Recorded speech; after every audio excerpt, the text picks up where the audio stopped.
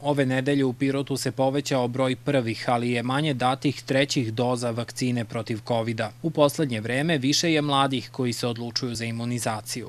Do 30 godina imamo poraz, znači primljenih i prvih doza.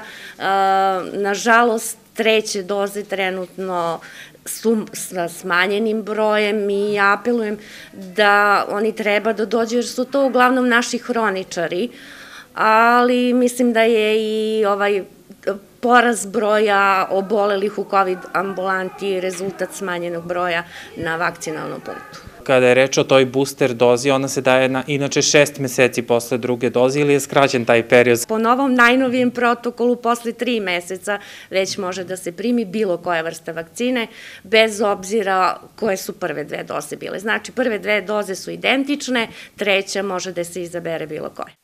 Na punktu su trenutno dostupne kineska i Pfizer vakcina. Nove doze ruske očekuju naredne nedelje. Onom prvom talasu je bilo kineske vakcina, više zainteresovanih, sada je više mlađih, pa su oni više zainteresovani za Pfizer.